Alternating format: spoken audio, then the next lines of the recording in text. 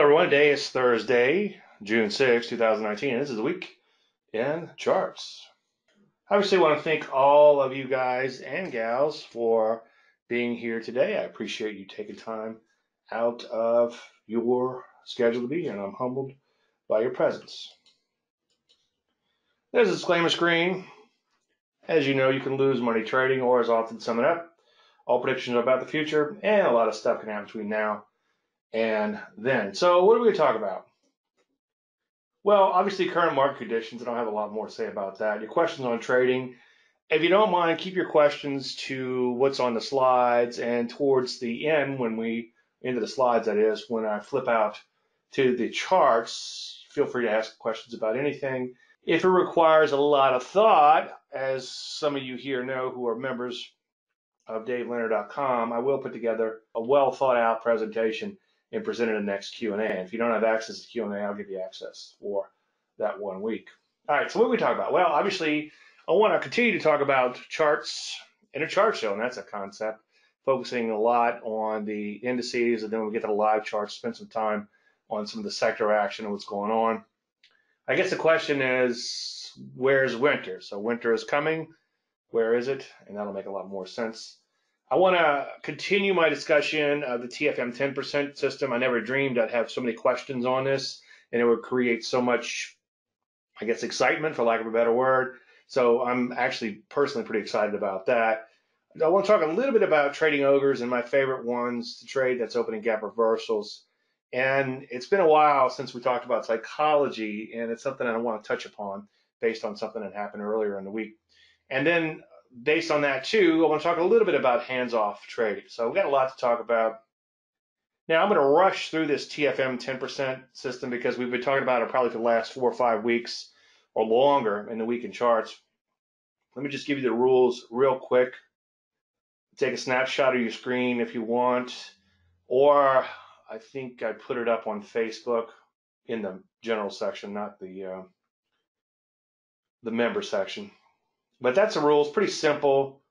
You basically want to be long as long as the market is within 10% of its 50-week closing high, and the last couple of weeks are greater than the moving average. In other words, you have two weeks of Landry light, and you want to exit when you're 10% or more away from the 50-week closing high, and the close is below the 50-week moving average. And that'll make a lot more sense. But I'm going to rush through this quickly because there's a few things I want to get to on this. I want to basically focus on giving you an update on where are we now.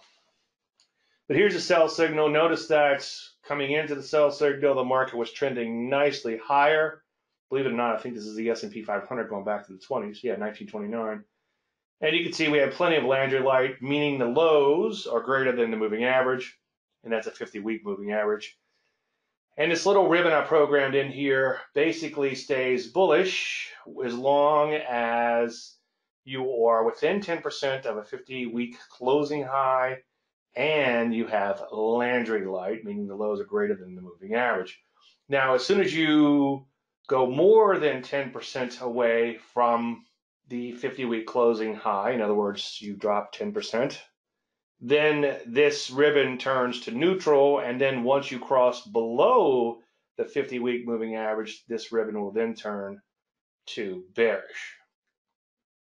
So this is what it looks like I think this is the last signal. Yeah, this was the last sell signal. Notice that we went to right at about 10% below the 50 week closing high. And then we also closed below the 50 week moving average. So that was your sell signal there. And notice the ribbon turned bearish. It turned neutral for a little while because we came right back above the 50 week moving average. And then once we went back below it, it turned bearish again. Here's the last buy signal. Notice that we were more than 10% away from the 50 week closing high. And then we came within 10% of that 50 week closing high. So that plus the daylight or Landry light, as I now call it, of two bars or two weeks above the 50 week moving average, that was our last buy signal. So I wanted to update the spreadsheet and based on the questions that I've received over the week and the conversation that we had yesterday, in the Q&A, which I'm going to talk a little bit about that in a few minutes, I wanted to go ahead and update the spreadsheet. So we can see the last signal, which put us long again. We're only up 1%. Now, if you go back in and look at last, I think it was two weeks ago in the presentation, initially I was a little concerned because it was only up 2% and the market had ran like 25% from the lows. But what you have to remember is the market is actually still down because buy and hold held through that entire slide. And until until and unless the market makes new highs, then being out of the market would be the good thing based on this particular system. Now, when I set out to design a system, and usually I don't just sit here and say, oh, I'm going to design a system today. It's just something inspires me to do it. And usually it's you guys. And like I was talking about yesterday in the Q&A, that's one reason that I continue this educational business is because you make me want to be better. And if I get better, you get better, you get better, I get better. And it becomes very cyclical. But anyway, you inspire me to do things like this. And for instance, the little five day simple moving average IPO setup, which is I just released without even putting behind a firewall or anything, was free and basically I came up with that as a simple way to stay out of crappy IPOs and you inspired me to come up with something like that. So it's it's in some ways it's selfish and self-serving, but then it's also cyclical. My research can help you. You're you're taking my research and running with it and running with the ball can help me improve that research even further. But anyway, when I do get inspired to fire up the computers and start programming and looking at a lot of charts and hand testing things and etc. My ultimate goal, obviously, would be to beat buy and hold, but I'm also more concerned about avoiding diaper change moments. And I think that's that's even more important because every now and then, as you know, the market will give you a 50% or more haircut. And I've seen two of those in my lifetime, and I'm old, but I'm not that old, right? So, very important, for instance, in 2000 and in 2008 to get out of the way. And I don't want to go on and on too much about this, but obviously, if you're nearing retirement and you lose half your money right before it's time to retire, you might have to continue working. And it's very important even if even if you're let's say you're not nearing retirement or whatever but something happens god forbid where you might need that money back sooner rather than later. Believe me i've learned over the last couple of years that life comes at you really fast. Remember there was those commercials those insurance commercials life comes at you fast there was a what's his name fabio you know he's all studly and all and he goes under the tunnel and he comes out like an old man anyway, life does come at you really fast. So even if the market does come back, I mean, it only took eight years in one case, and I guess another 10 years in the other, maybe a little bit less. It doesn't always come back, and there's no guarantees, obviously.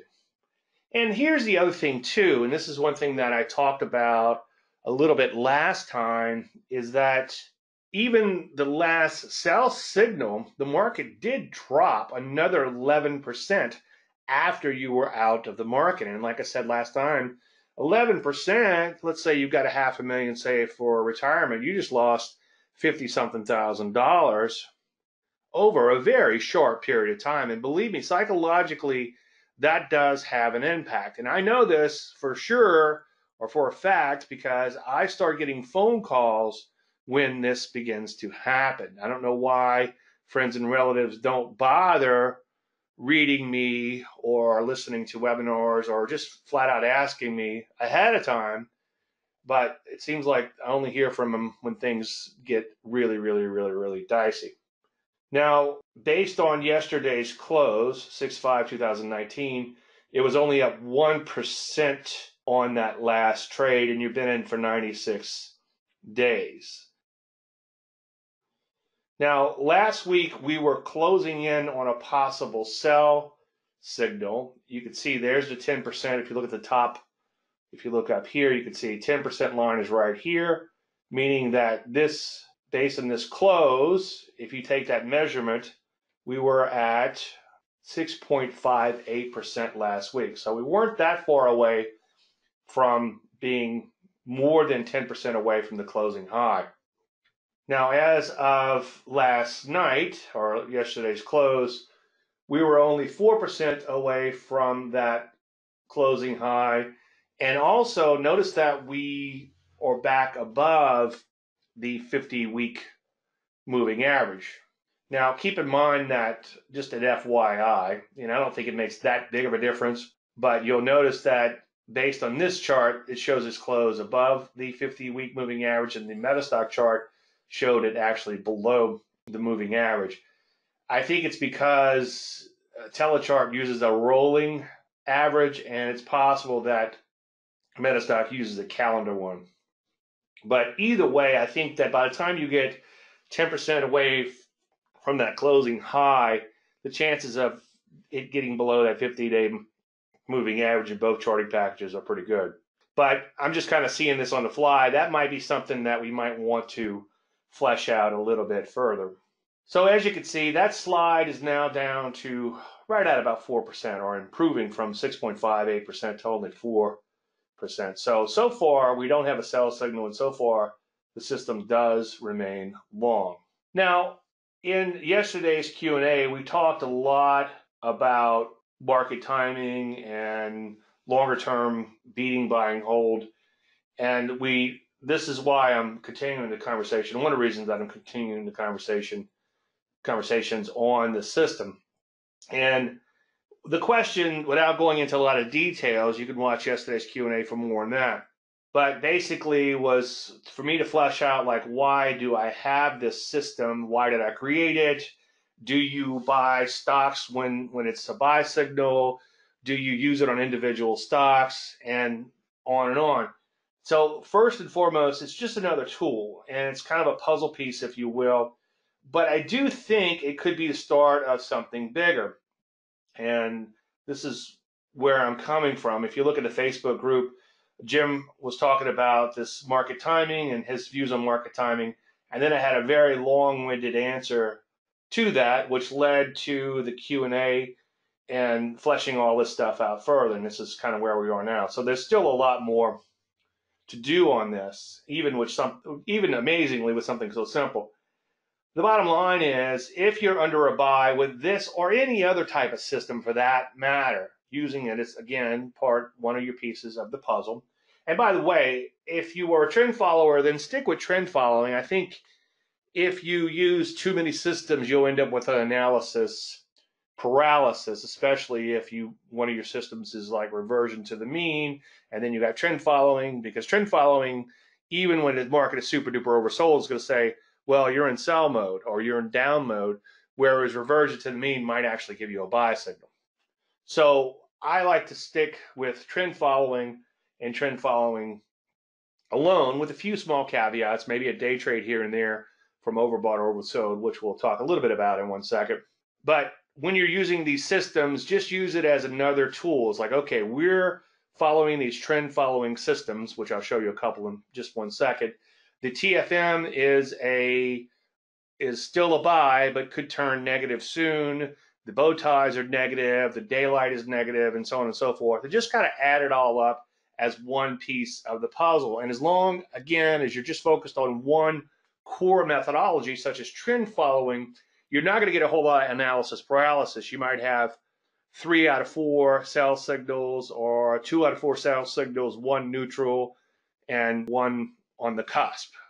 Now, if you're under a sell, meaning that the system has you short, or in the case of TFM, we don't actually put on shorts because it's it's not designed to be a long short type of system. But if you're under a sell signal, then you want to be very selective on the long side. Now, being selective is a couple of things. One, you only want to take the mother of all setups, something that you just think is fantastic Two, ideally, it should be something that could trade contra to the market, such as a more volatile stock, such as something like an IPO. That's not going to be held as hostage to the overall market as, let's say, a big cap stock, which is probably a big part of an index, which will likely have a very, very low beta. In other words, it will trade in tandem for the most part with the overall market, whereas the high beta stocks are going to trade more independently. Commodity related stocks, easy for me to say, sometimes can trade independently of the overall market. And then also consider shorting if you're starting to see this and other signals trigger. Now, keep in mind the designer's intent is very important when you're looking at a system. Reader's Digest version, I was helping someone pick stocks years and years ago. And I also was doing a little ghostwriting about setups and stuff like that. And long story endless, when I was in the training phase, I would show him a setup and say, here's one of your setups. And he would say, no, it's not. And we would go back and forth. I would show him mechanically that it was. I followed the rules. I ran my programs. I ran the software, blah, blah, blah. I wrote the software.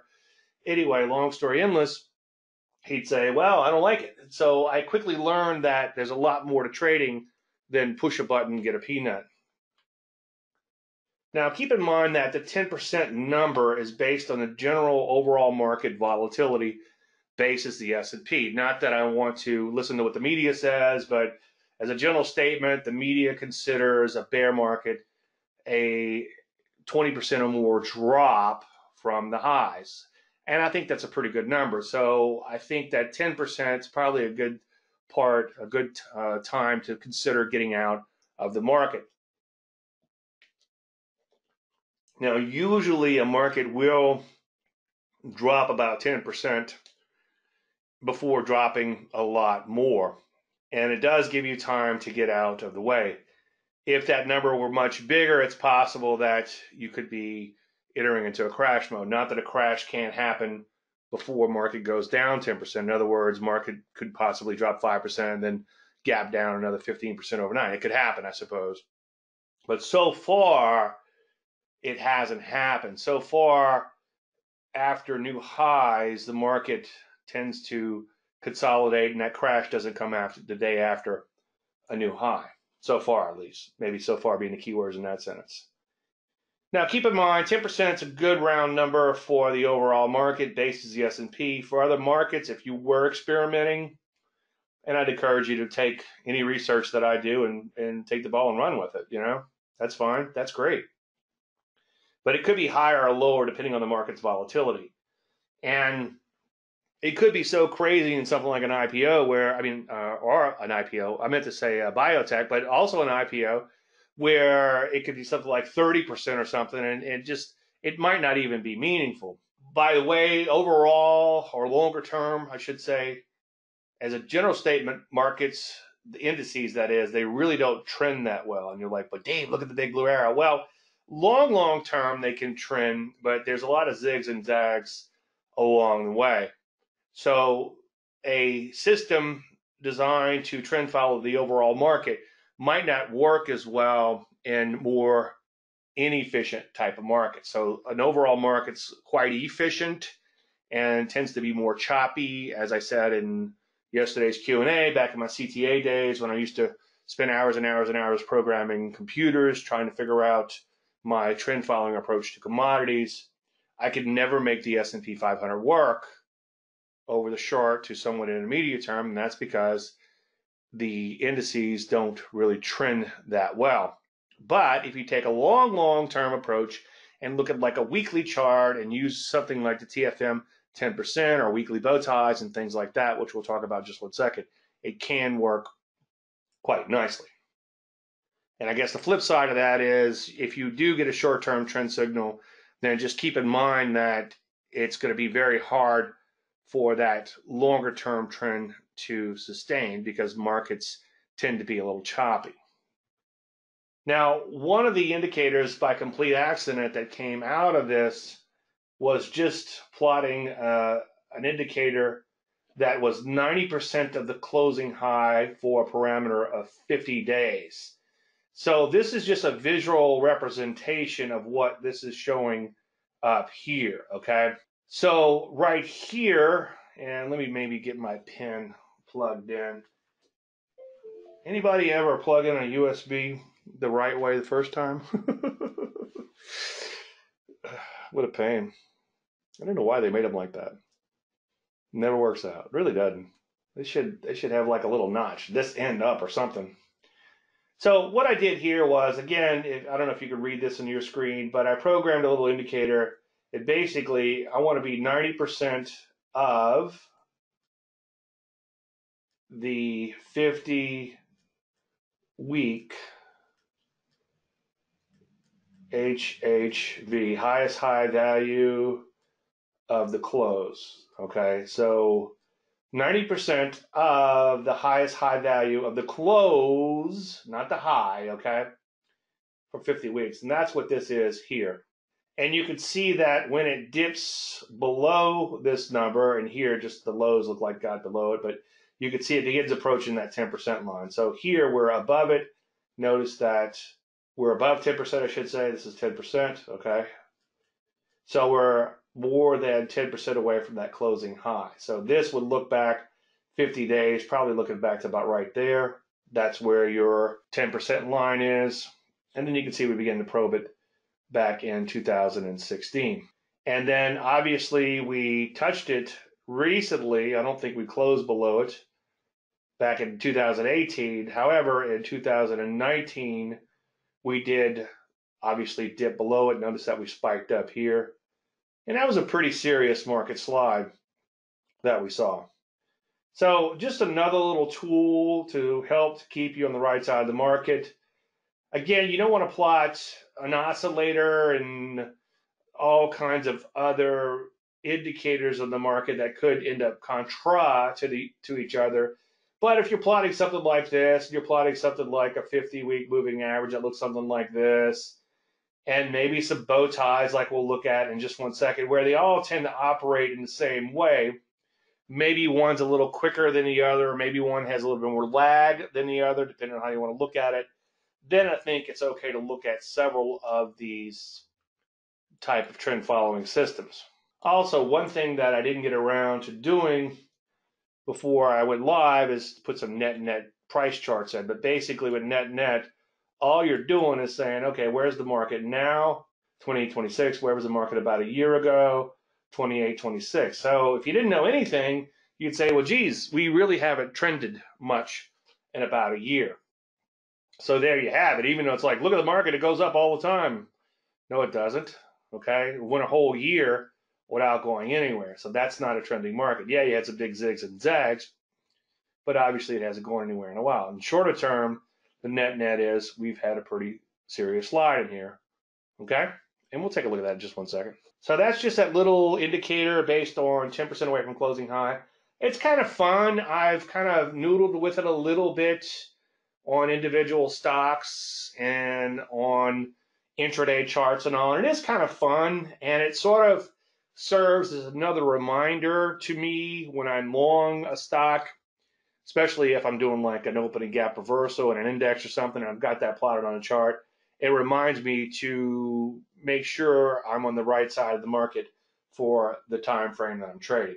All right, so if we take a longer term approach, or more specifically, if we back this chart way out, this little 10% line, whatever you want to call it, as you can see, is just, again, it's another tool. And I guess the question is, how many tools do we need to stay on the right side of the market? It's like, well, as long as they're similar in nature, I think it's okay to have as many as you want.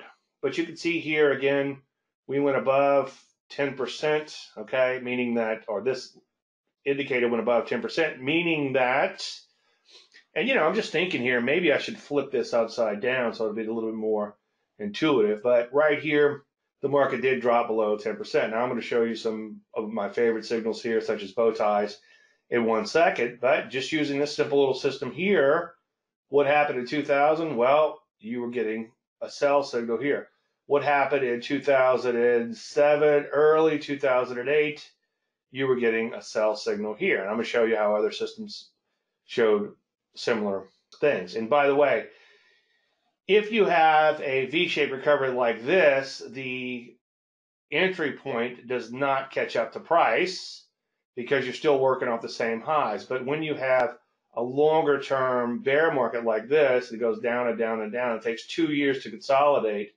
you could see that the indicator will catch up with price. So there is some lag in this and like everything else. And by the way, you do actually, believe it or not, when you are longer term trend following in something like an index where it's not really prone to trend, at least not over the short or intermediate term, you do want something, or I guess let me rephrase that.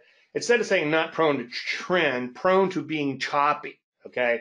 It might trend, but it might be all over the place in the progress process. So let's look at from here to here. Wow, that's an amazing trend, but boy, there were some huge zigs and zags along the way that would have knocked you out. So hopefully I'm not talking out of both sides of my mouth, but indices can be really choppy. Just know that.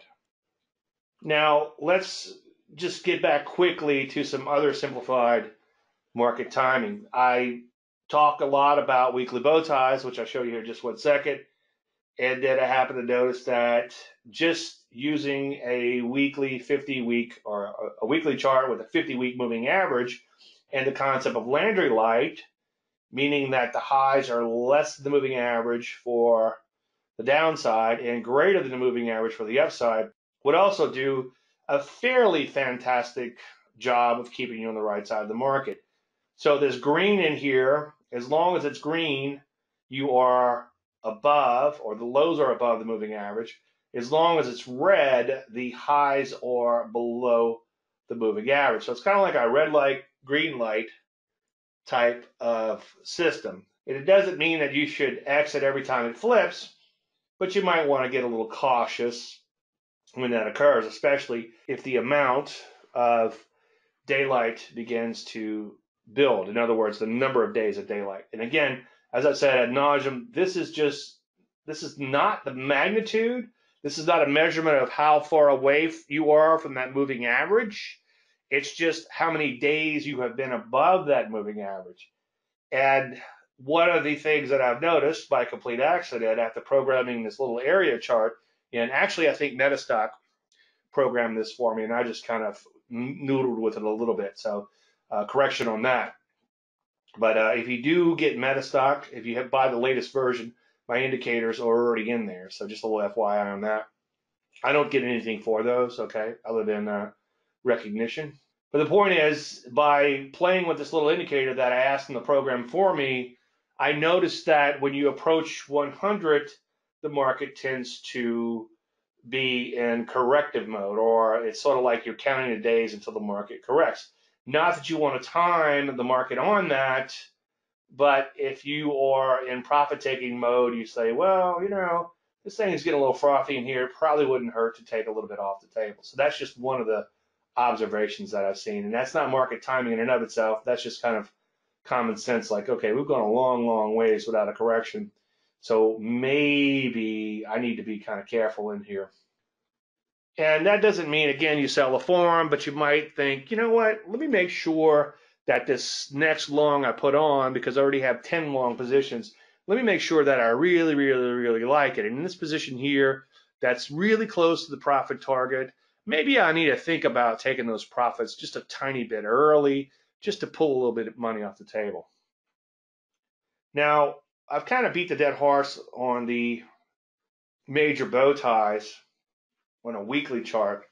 But it's something kind of cool to a point where somebody said, Can you stop talking about that? And I guess somebody's going to probably say that about the TFM 10% system too. But a major bow tie is when you have a weekly crossing of the 10 simple, 20 exponential, and 30 exponential after all time highs or major, major lows for buys. And it's obviously if we go to all-time lows in the S&P 500, you know, trading the market is going to be the last of your problems. Anyway, before I digress too far, you can see that we were in uptrend proper order, meaning the 10 was above the 20, was above the 30, and then they flipped over to downtrend proper order right as the new year began. And I just think that's really, really cool. Right, the last day of the, possibly even the last day of 2007, you were in downtrend proper order or close to it within the first week of trading and then your signal, your sell signal was right in here. You had a little bit of a retrace higher, but we all know what happened next. Now, when the market's down 30, 40%, that's when the diaper change moment starts happening. That's when my phone starts ringing. Okay. And by the way, that might actually be a good timing signal. It's like when people start calling me freaking out about the market, it's probably time to start looking for a low. but the point is, these simple, and it never ceases to amaze me, but these simple trend following techniques and simple little systems, not that I have anything that's amazing, you know, or or uh, gee whiz, but these simple little systems. And by the way, if you're going to trade a system, you're much better off trading a simple system, but that's another conversation. But it, it never ceases to amaze me that something so simple could actually keep you out of so much trouble. And I think that's the whole point. So if we take a look at the major sell signal, obviously we have 2000 and 2008, and then we had another major sell signal in 2015. Now that one didn't turn into the mother of all sell-offs, but the market did drop substantially from that. And I think, if memory serves, don't hold me to it, but somewhere around there was like an 18% drop in the Russell 2000 after that.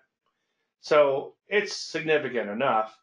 And then, believe it or not, we did have a crossing and a setup last year, but that one didn't actually trigger. And the buys were the 2002, 2003. My arrow might be a little off. It might need to actually go to the left a little bit. But that one was really beautiful in textbook. The one in 2009 was a little late to the game, but that's typical of a moving average type of system. And the daily obviously triggered much sooner. Speaking of fractal patterns, it, this kind of leads us into our next discussion here. And this is one thing we were talking a little bit about in the Facebook group. If you take a look at something like the spiders or any other index coming off of all time highs and pay attention to hourly bow ties, an hourly bow tie is not going to always signify the all time high of the market and be the all time top. But a lot of times a major turn will happen and that hourly bow tie will let you know ahead of time. Now, obviously, the more you drill down, the further you drill down, the more the chances that you're going to get more and more false signals. But it does pay to pay attention. And Jim, who's, I don't know if he's in here today, but he's in the Facebook group, and that's one of the things he was talking about is that that's kind of like his heads up, put a little antenna up, like, oh, wait a minute, the hourly bow tie has changed in this index maybe I need to get ready to get ready. I don't want to rush out and try to do longer term trend following off an hourly chart, which would be a, probably a bad idea. But maybe I want to pay, maybe it pays to pay attention. So it's probably not a bad thing. The other thing that I do is in something like Forex, I will look to cha- to catch major trend changes off the hourly chart. And 99 out of 100 times, I don't catch a major trend change. Sometimes I'll get a little swing trade out and get stopped out on the rest, and that's boy, if I could do that every time, I'd, I'd eventually own the world because I eventually catch a big trend. But more often than not, I get knocked out of the position either out of scratch or a fairly small loss. And as I've said before, read the last now column on my website, which is for the 531.19, I believe. And you'll see where I talked a lot about how it really feels like beating your head against the wall with that type of trading because more often than not, you're going to be wrong trying to capture that trend change in such an efficient market such as Forex. But when it works, you make a lot of money compared to what you put up. So it does eventually pay off. Hey, Jim. Yeah, Jim, you were talking about the hourly changes, and I hope I, um, I hope I quoted you right on that. I think that's what you were doing. So the question is, is winter still coming? And we all know that bastard Jon Snow for was it eight seasons or seven seasons talked about winter is coming, and finally, I think winter actually came. this market has been more disappointing than the last episode of Game of Thrones. Anyway, I just want to show you one chart here, and we'll go to live charts here in a few minutes. But this is what I've been talking about forever and ad nauseum is the fact that the Russell 2000 has made this big picture retrace rally stalling well short of its prior highs. And so far, it has sold off out of that retrace rally. So that's a little concerning. If it pops back up to 160 basis, the IWM, then maybe we're okay. But anything below that, I would remain skeptical and cautious. Now, I will occasionally trade an opening gap reversal as a reversion to the mean type of trade. And keep in mind, it's just that's a day trade type of thing. But my favorite ones occur, and I'll map out this trade maybe in the next now column or maybe the next, definitely the next Q&A. But you can see the SOXS, which is three times inverted Direxion semiconductor. I would not encourage you to, to trade this longer term and hold this longer term because all of these short ETFs will eventually go to zero. But over a very short time, especially like a day trade, they can be worthwhile. And so it pulled back kind of nicely in here. And then we had a nice little gap lower yesterday, which turned out to be a decent little day trade for an open gap reversal, better than a poke in the eye. And again, I'll walk you through that specific trade soon. I'll show you another opening gap trade here in just one second, which actually is going to be very similar, at least from a money manager standpoint, on how I played it. So my favorite opening gap reversals are those that dovetail in with the core methodology. What's the core methodology say? Well, we're looking to catch a, a pullback, or, or I should say a trend resumption out of a pullback or a trend transition out of a bow tie or a first thrust. And we had all those things working here. So I would much rather trade an opening gap reversal in the direction of the trend. And keep in mind that this is just a little day trade we're firing off. But I'd much rather do that as opposed to against the trend. Now, the market implodes for a while and it just looks absolutely abysmal. The fear is so thick you can cut it with a knife. You come in and futures getting whacked over overnight, just absolutely creamed. You're down at these multi-month lows or multi-year lows, and then all of a sudden you see some buying begin to come in. Your risk is down to that new low, which is very close and your potential war, reward would be the mother of all trend day. So that makes it worthwhile. But it's hard to sit on your hands and wait until that comes along. And, and I'll probably have to talk, or probably will talk, I should say, a lot more about patience in upcoming presentations. Because that's probably one thing I talk about more than anything is patience. And I'll probably spend a lot more time on that really soon. Now, I haven't completely forgotten about trading psychology, and I have some research that I'm doing here but it's kind of on the back burner a little bit lately, but I, I miss it and I'm, I'm ready to get back into it. And in the meantime, I've been very cognizant of my own psychology. And of course, I'm writing down my F bombs and all that in my trader's journal daily. And I've got my little shame notes for when I'm doing something that I shouldn't. On Monday, I was a guest. I wasn't the host, but I was a guest of the Crowd Forecast News show, which you can watch on YouTube. And Jake Bernstein was on, and he was quoting Larry Williams. He didn't say who he was quoting at the time, but I emailed him afterwards, and he told me it was Larry Williams. So I want to give both Jake credit for bringing this to my attention, and also Larry Williams for coming up with the quote in the first place. To make money as a trader, you have to not care. As soon as you start caring, you have emotional attachment. It's counterintuitive. The more you care, the less you make. The more you're clinically dispassionate and less attached to your trades, the more you will make. It's really quite simple, but very hard to accept. Now, that is a mouthful. And after Jake had said that quote, I began thinking this reminds me of so many things I talk about in trading psychology and so many things that I want to cover in trading psychology. So I'm just going to scratch the surface today and just bring up a couple things. One thing that Jake talked about, which I often talk about too, is sometimes going into the trade, and I know it's easier said than done, and I believe me, I, I fight with my own psychological demons quite a bit.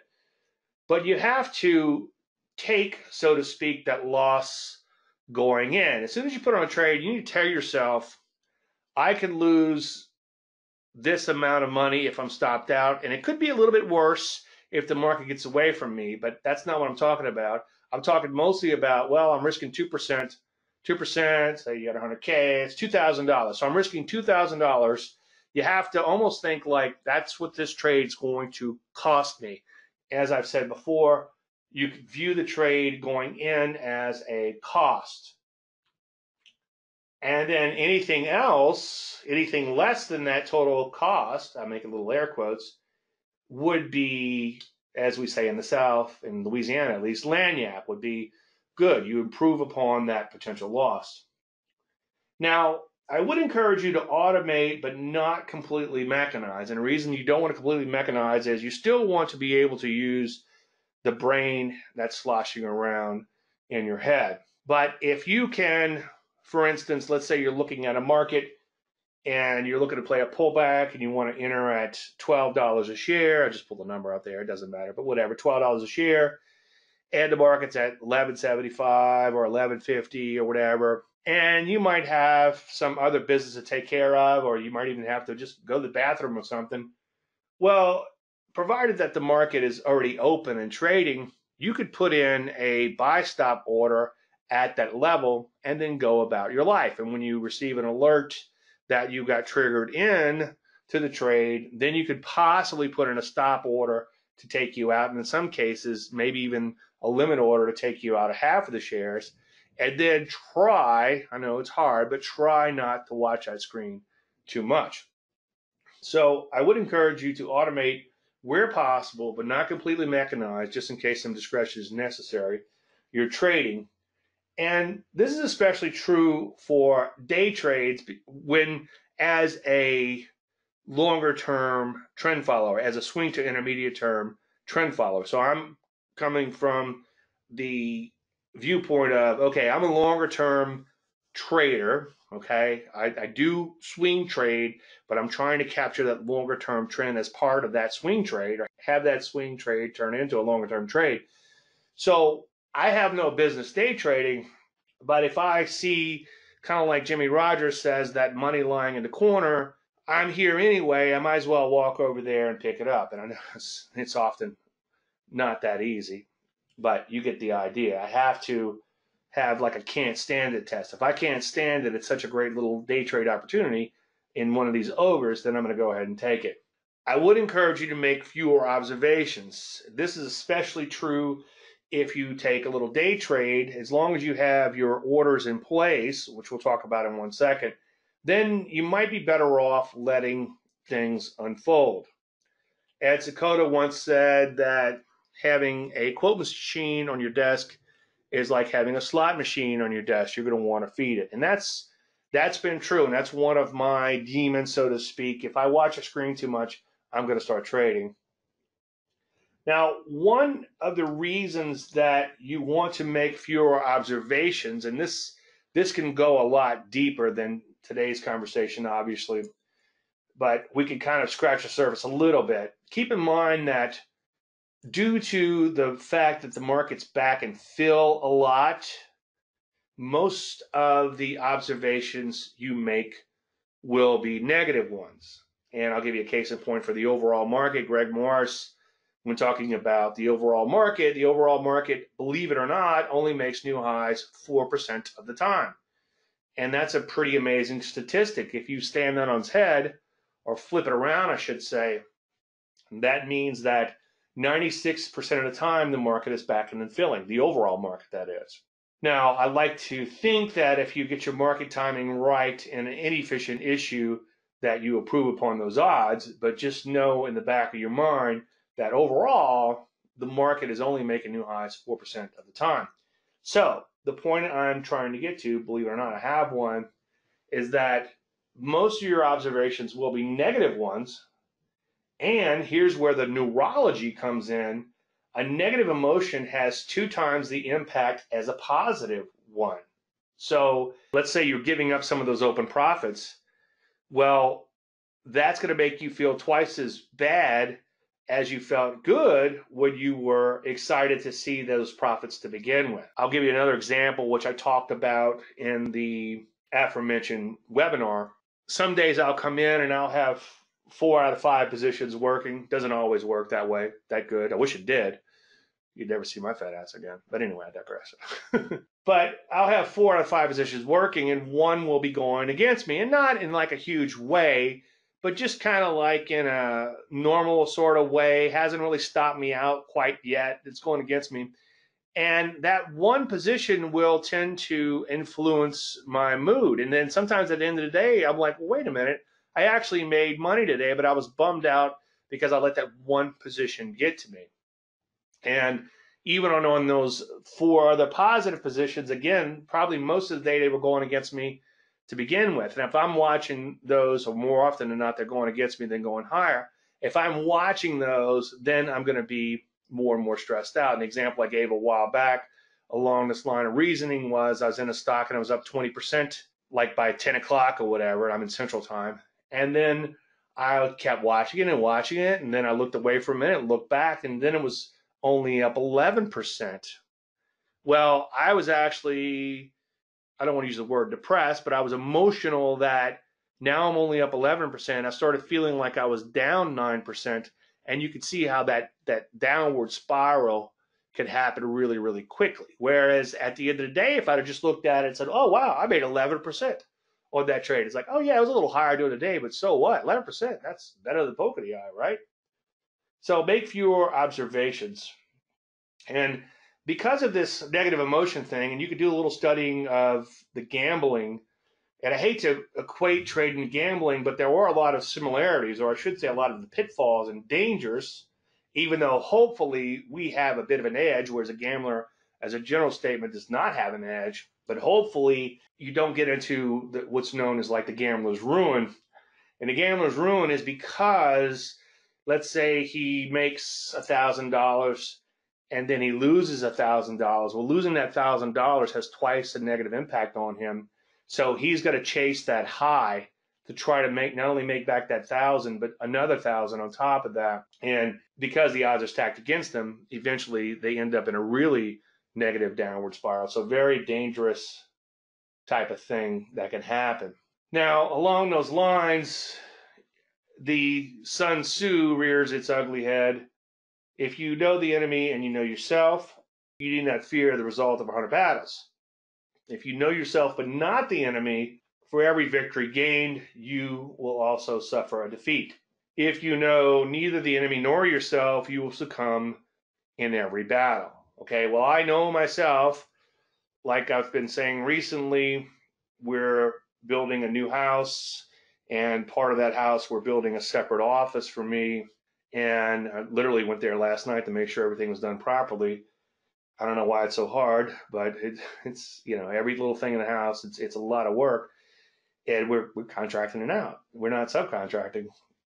But anyway, long story endless, they finally got my soundproofing right. My soundproofing is not to keep out outside noises, which is going to be nice in case now I'm in neighborhoods. I'm you know, people like to weed eat. Every time I do a webinar, I used to be in the middle of the country and I can get away with pretty much anything. But now that I'm going to be in the city, it's going to be important, obviously, for to keep those noises out. But more importantly, or the reason I've, I've I soundproofed is so knowing my emotional self. If I'm in there dropping f bombs, I don't want because we're going to have a, it's going to be attached to the house, but still a separate entrance. I don't want people in the house to be listening to me in here screaming and hollering, or in there screaming and hollering. Now I'm working to get better, but in the meantime, I think it's important that I soundproof the walls first. So anyway, that's Sun Tzu Art of War, as you probably know. So along those lines, especially for me when it comes to something like a day trade, an opening gap reversal trade, I know that if I don't watch myself, if I'm not careful, if I don't put some sort of commitment device in place, which I think is James Clear is where I got that from, but a commitment device is something that keeps you from from doing the wrong thing. So I like drinking beer, so a commitment device for me would be don't buy any beer or don't, you know, don't throw a, a, keg of beer in a kegerator. Don't go brew with my buddies, and you know, just don't have it readily available. That's kind of a tiny commitment device. Turn off your screens is a commitment device in trading. As I've said before, one client of mine who had a brokerage account where it was like a wealth management type of account. He has unlimited trades, but he also had his online account. He closed down his online account and moved his money over to the wealth management because he would have to call in his trades. And to quote him, he didn't want to look like a lunatic. So that immediately stopped 99% of his day trading or 100% of his day trading and probably 99% of all the other unnecessary trades, except for the trades that just look like the best trades in the world. It also stopped him from micromanaging his trades once he got in because he didn't want to be in and out all day looking like, again, a lunatic. So, long story endless, the point I was going to make here is that within reason, you can do some automation. So, I was watching the SOXL, and this was a bounce type of trade. Again, not my bread and butter, not my favorite thing to do, but I'm here and the opportunity presents itself. So, sometimes I'll step in and take a trade like this. Now, I remember watching that first bar and I was anxious to jump in. And then he came back in. I breathed a sigh of relief. That third bar came along. I began to rally. I began thinking, well, I should get in, I should get in, I should get in. Then it came back in. And then I said, you know what, Dave, what would Dave do? Or what would Dave tell you to do? Kind of along the lines of plumbers having the worst pipes. So I said, well, what if I just put in a buy stop order and go about, go about my life? My little phone dings about 30 minutes later. I'm busy working on some other project or doing something else. I was like, oh, okay, well, looks like I'm long the SOXL. So let me put in a limit order to sell half, and let me put in an automated trailing stop to sell half. And the reason I put in that automated trailing stop just for half is because I want, if I hit the initial profit target, then half my shares come off. And then if I hit that trailing stop, if the market hits that trailing stop, I should say, then the other half of my trade comes off. Now, the only danger in this, which is not hands off, is let's say that I don't hit this initial profit target and get stopped out of half of this position. Then I have to make one additional decision to get out of the remaining shares. So that's the only thing that is not automated. But I would caution you into into doing do as much automation as you think you need, but then go no further. So we've been having a lot of conversations about some of this automated uh, trading with the OCA uh, orders, OCO, and that's that's fine if you want to do that kind of thing. But the ultimate goal, keep in mind when we're playing these opening gap reversals, is to capture that trend day, is to get in down here somewhere around this opening gap reversal and then have this thing rally and rally and rally and rally all day long. And then the short covering comes in and they get the heck squeezed out of them and then the market goes up forever. And then you just get this huge move intraday. Doesn't happen that often, but if you position yourself doing something like this, there's the potential that you are positioned for when it does. And instead of watching that stupid screen all day long, you let things unfold. So I know myself. I know if I'm watching that screen, I'm going to be inclined to make trades that I shouldn't. I'm going to be inclined to get emotional. I'm going to be inclined to drop F bombs. So hopefully I'll get better at that. And that soundproofing I put in, at least for between the house and my office, was a total waste of money. But knowing myself, it probably isn't. Now, getting back to that quote, one of the things that came out of that quote and it said to succeed as a trader, you have to not care, or to make money trading, you have to not care. I've talked about being flippant before, and I always feel like I've never been able to get the point across exactly right. And I think that this quote's kind of helped me get there a little bit. Curtis Faith comes to mind when, when you think of flip it. He was at an interview on YouTube. They had a little show. I was actually part of the little show for a while I forget the name of it, but it'll it escapes me at the moment. Anyway, the the host Lindsay something was asking him, "You made all the money and then you lost all the money," and he his point was, "Well, if I didn't have that, I couldn't give a flip attitude to begin with. I never would have made the money to begin with." Now, that's not saying be completely wild and crazy, but if you could be non-caring in the execution of your plan and let the chips fall when they may then I think you'll do quite well. But you almost have to not care. Or, in fact, according to Larry Williams, you have to not care. Okay. Another concept that I talk about that I haven't fully fleshed out is you have to be kind of antiseptic. And that's kind of hard for me to explain. That's, I guess, detached is probably a better way from that and maybe removed. One thing that I've done before, and I think I've picked this up from Mark Douglas. I like to give him credit, if not, uh, because I've gotten so much out of Mark Douglas. But it's almost like you have to see it as sometimes watching a movie and you have to watch your phraseology. Like instead of dropping that F bomb, maybe say, oh, that's interesting. And I know easier said than done, but sometimes you do have to be a little bit removed.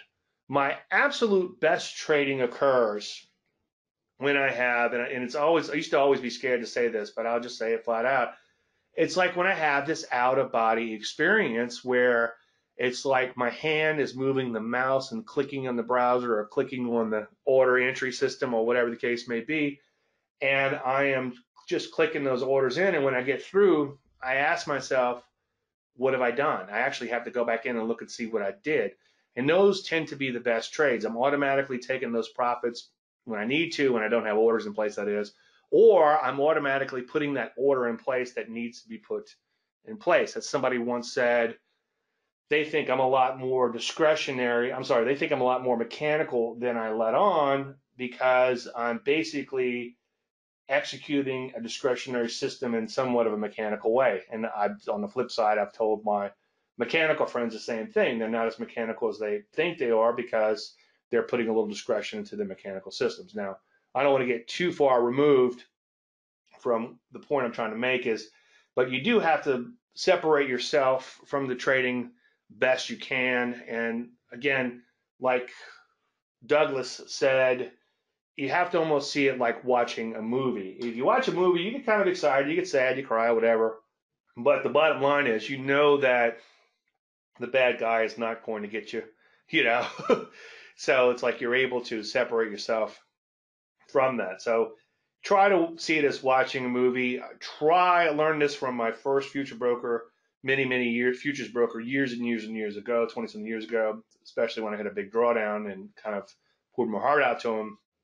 And his point was, well, make it a game and play the game. And that's, that helps tremendously. It's like, okay, well, I'm gonna play this game where I'm gonna see if I could put the orders in that I need, and I'm gonna see if I could not check in until I have to take action or not check in until I get an alarm and so on and so forth. So sometimes that's one way to to help trade at a size that's almost meaningless. I have some small accounts out there and I make some little trades in them here and there. And I could care less about what happens. I mean, I want it to work out, don't get me wrong. But it's like, okay, I'm going to get in this little trade here. I got to stop here and I'll just forget about it. And sometimes I'm pleasantly surprised. Sometimes I'm stopped out. Either way, I don't care. But that trading is probably as close to perfect trading as I ever do. Why? Well, because I don't care. I'm detached, I'm antiseptic, I'm removed, and I could be, again, flippant in my actions. So if you are having any trouble in your trading, and we all do, let's face it, we all do at various times, then you might want to get a little smaller until you reach a point where you're execution is flawless. And as long as you're you're process oriented, following the process, even if your your outcome is not exactly desired, then pat yourself on back on the back for following the process. And if the outcome is not desired, then focus on better input, garbage in, garbage out, right? And then work to improve that and without giving the complete you know 20 hour psychological psychology lesson but work to improve that and of course after every trade do the post mortem and deliberate practice comes in mind. You need to work hard at getting better. Don't just work hard to find the best setups work hard at getting better at finding the best setups. All right still have a few people who are gold members who have not joined the facebook group please join We've a lot of good stuff comes out of it. It's in the menu on the top of the members area. And this is just one example from last week. I just flipped through that. And again, like I said each week, or like I say each week, I'm helping those who truly want to be helped. And there's a few of you guys out there that are sponges and girls, and it's been wonderful working with you. And uh, one of you showed me like, hey, look, Dave, I'm I'm clicking away at these courses, and uh, good for you. So we're able to track your progress, and that's the whole purpose of this learning management system. One of the complaints I've gotten is like it's that it's too massive. Well, it's supposed to be massive, and I'm gonna continue to add to it. And this is a lifelong learning thing. I don't want you to join and then quit a month later because you learned everything because there's so much to learn. There's really you you're never going to get you're never going to learn everything when it comes to markets and that's why I'm constantly adding content to this. And then on top of that, your questions and answers are really helping me flesh out a lot of things. So check out the members area. You can start for free. All right, any questions about all that pontification? So let's start with the P's and take a look at some of these Morningstar industry groups. Okay, first of all, S&P 500, and let's take a look at spiders first. So spiders, a bit of a shoulder shrug. It always amazes me. Market just off to the races. The next day doesn't do anything. Now, when I see a market like this, big slide down, sharp little retrace in here, the first thing that I'm thinking is let's see if we get the mother of all opening gap reversals. So if you come in here and the market gaps open way up here, there's a chance that people might be looking to get off the hook who got caught in that slide, and that selling could come in on the open.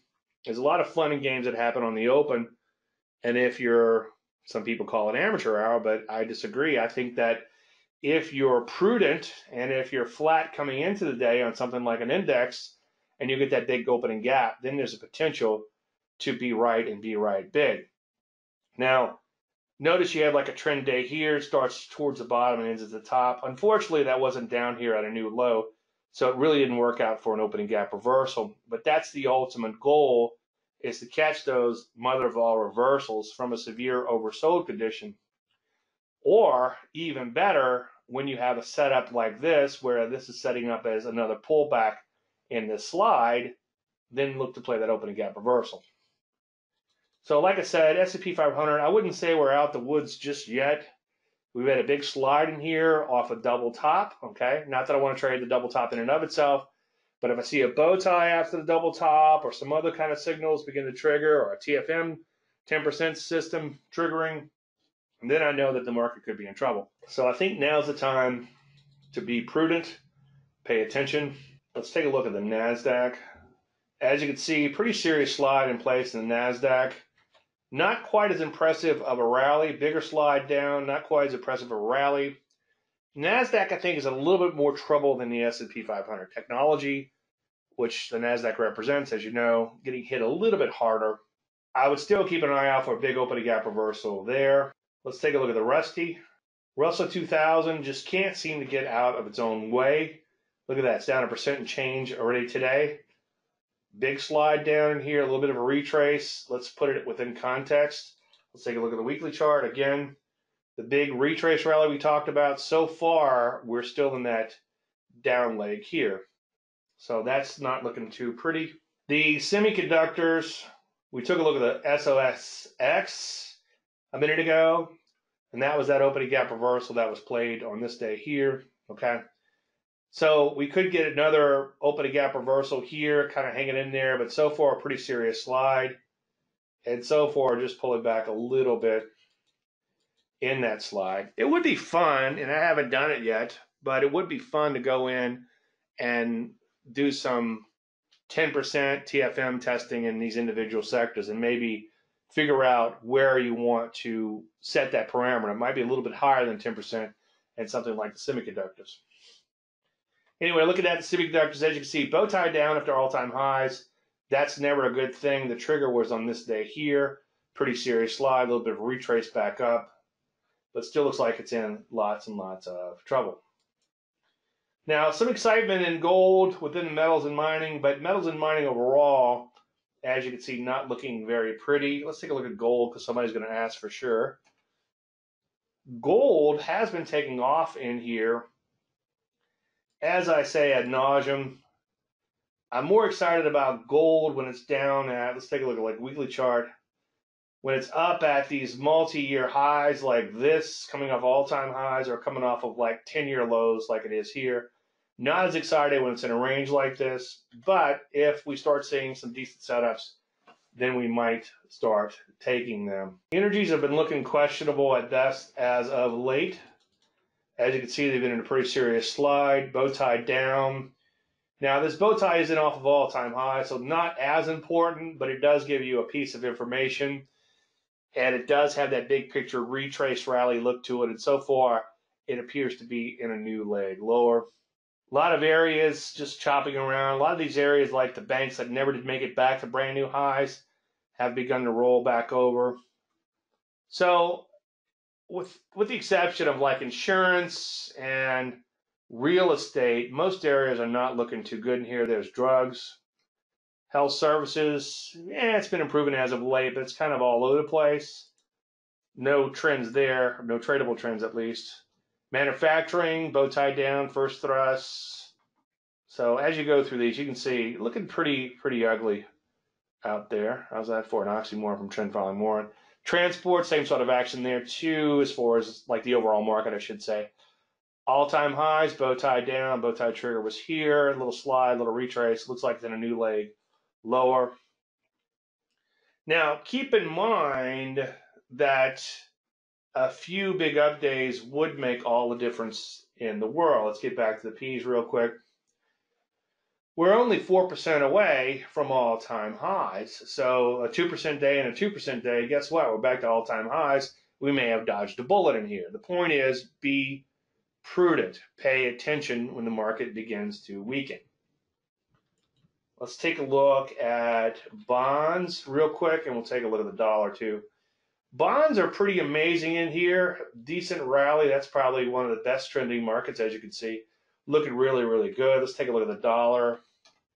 Bonds up, as you know, means rates down, and that's probably what's beginning to put a little pressure on the dollar. I am long the Aussie dollar, and I am long the euro versus the dollar at this point. So essentially, I am short the dollar. Probably right, but early. Probably right big, but early. that's the same thing, Michael. Anyway, as you can see, dollar still looks like it's it could be in the early phase of being in trouble. Just for S and Gs, let's take a look at the hourly chart in the dollar. I have not looked at this, at least not in the UUP, and I'd be willing to bet you a thousand bucks. Yes, you have a bow tie down in the hourly. Okay, this one didn't materialize, didn't actually trigger, but this one did. This is what's what I call sometimes a second mouse signal, and I've picked that up over the years from somebody else. I'm not, I didn't invent that, but you'll notice that it's all over the internet. The early bird gets a worm, second mouse gets the cheese. Sometimes those second signals can be very powerful. But yes, the dollar has bow tied down on a weekly basis. Doesn't I mean uh, an hourly basis doesn't mean it's the mother of all tops, but it now begins to look like you might want to pay attention. Okay, uh, let's open up our individual stocks. Okay, is AEP too efficient? Good question. I always love when somebody asks me a question about efficiency because that's somebody who's studied markets and understands these slightly more advanced concepts. So, good question. So, the question is Is AEP too efficient? I like the upper potential of ELP for utilities because of transitional pattern and MAID and is less efficient, but AEP is more textbook thoughts. Um, I would avoid something like AEP. When you look at it, it's like, wow, what a fantastic trend. But your HV is 16, which is pretty low, okay? And you would have to use, you'd have to put up a tremendous amount of capital in something like this. Now, I don't know how they derive their power. I'm guessing coal because that seems to be the most popular way. But God forbid, let's say it was nuclear and something bad happened, you've got all this money tied up on margin on something like this, and you get absolutely creamed. So the the juice isn't worth the squeeze in something like this. So to answer your question, yes, you answered your own question. I think something like this is a little too efficient. And, you know, barring a nuclear disaster, let's say that we find out the company was cooking its books or they miss a debt payment or they miss earnings or whatever, and this thing gets whacked overnight. You've seen me do presentations before where I showed that a more volatile stock, because you end up trading more shares to compensate for the volatility. In other words, it's the devil you know. You actually end up doing, or having, I should say, less risk than trading a less volatile stock, putting a lot of money on the line. All right, long-winded answer is saying, what about ELP? All right, so ELP is going to be more, yeah. See, that would be a better if you want to rush out and trade utility. This is a foreign stock. I've been watching this one for a while. It's a little choppy, but that sort of comes with the territory because it's a foreign stock. But yeah, I think you'd be much better off being something like this and knowing the nature of the beast. So yeah, on a pullback, absolutely, absolutely. WM. Now, WM is going to be a big, thick company. Actually, it's not as thick as I thought it would be. So, yeah, that looks pretty good, Zach. The only problem with this is let's take a look at this HV right here. It's 14. Now, if you don't have, I don't know what software you're using, if you don't have HV programmed, if you have Telechart, I'll give it to you. But if you, and I think I might have it for Metastock, which I got it off the internet for Metastock, so you can find it there. But anyway, uh, when I see an HV of 14, when I see a hundred and something dollar stock, I'm like, well, wait a minute. And then I also see a stock at these multi-year highs like this. A few little light bulbs, not light bulbs, alarms go off. Like, is this thing priced for perfection? This is a fairly fixed stock. Let's add two zeros to that. It's at 50 million shares. I'm gonna have to upgrade to the regular Metastock at some point. But it's a big company and it's owned by a lot of people and it's very efficient. So that means there's a, a an S ton of analysts, meaning a lot of analysts. I don't want YouTube to demonetize my video. It might be too late. I may have cursed already. So there's a bunch of analysts analyzing the stock, and it's kind of under a microscope. So not that I would ever trade on fundamentals, but if they miss on earnings or something, it could really get hurt bad. And, and these big fixed stocks do, or are, I should say, held hostage a lot more to the fundamentals. And they're under a microscope. So, yeah, long winded way of saying I would pass on that one, just uh, too efficient. And by the way, there's not a whole lot to look at right now. If you've been on the trading service, people come into trading service and they see me go like a week or two without recommending one stock, and they're like, why the hell am I why the hell am I paying this guy? But they don't realize that, man, you know how much money I just saved you by by not chasing your own tail, going after all these mediocre setups. And you know, scratch your own itch. That's kind of what I do with trading service. Like I'm I'm like the guy I wish I had 20 something years ago telling me to don't do anything, you know, instead of wasting money in the market. Okay, NRG looks in trouble, but utilities are trending the opposite way. Stay away, NRG. Um, yeah, and the other thing too is if you're going to short something, that's still pretty high levels. No, I think that's possible. I think that's plausible. You know, I would much rather short a big, thick company like this than go after like a semiconductor where you can get into a lot of trouble, although I am beginning to see some shorts in the semiconductors. But yeah, I think that looks okay. Uh, since it's in a little bit of a longer term downtrend, I prefer a deeper pullback. But if you back the chart way, way, way, way, way, way out, it still has a long ways to go. So long or short, short setup, yes, that looks pretty good. But still try to find something coming off of all-time highs, if possible. Where are utilities doing? Yeah, utilities are headed higher. Now, you bring up an interesting point. He said that, hey, I like this potential short, but utilities are headed the opposite way. Well, your best transitional patterns are going to occur when the sector is actually headed the other way. Now, that's kind of the just the opposite of what I normally preach because normally you want the sector headed higher, the stocks headed higher, the stock headed higher, stocks within the sector head, headed higher, and the market headed higher. However, when you begin to get a trend transition, what'll start happening is individual issues within the sector will begin to break down. And then if the overall sector breaks down with it, then you've got a ton of wind in your sails or you, you've got everything behind you. So a little bit more dangerous to go in fighting that sector trend with a transitional pattern, but that's sometimes could be some of your best opportunities. So look at transitions a little bit differently or more differently than the other one. We talked a lot about Uber, and if you're following the five day SMA thing that I wrote about in my column, then you would have had an entry, or I should say a trigger yesterday on that. Let's double check that because let's see what that high was.